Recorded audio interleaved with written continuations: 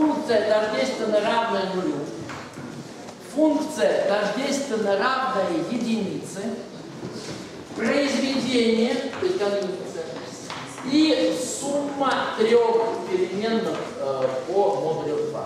Давайте подумаем, э, какому классу не принадлежит вот эта функция. Она, очевидно, не принадлежит классу какому? T1. Это не принадлежит классу T0. Это не принадлежит классу линейных функций. Это не принадлежит классу монотонных функций. Единица самодвойственна? А, конечно, не самодвойственна.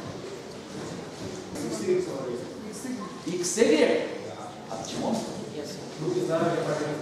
А вот давайте посмотрим.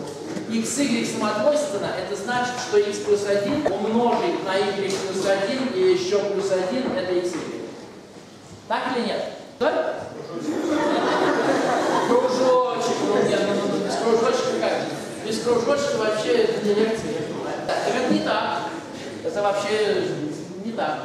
Так, э, давайте объяснимся, почему э, любые три, когда из них берешь, то получается на самом деле то получается плохо. Почему все без нуля э, это, это плохо, как вы считаете?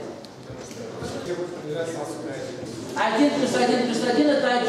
Да, вот эти три функции принадлежат Т1. Отлично. А какому классу принадлежат вот эти, кроме единицы? Т, Т, Т0. Отлично. А какому классу принадлежат вот эти? Л, Линейные. Э, хорошо. А какому классу принадлежат вот эти? М, Монотонно. Они монотонные, совершенно верно. Вот эта функция не монотонная.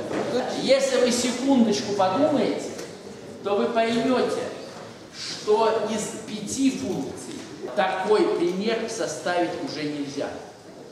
Если вы сумели более функциями продить, то на самом деле среди них есть четыре, которые абсолютно все порождают.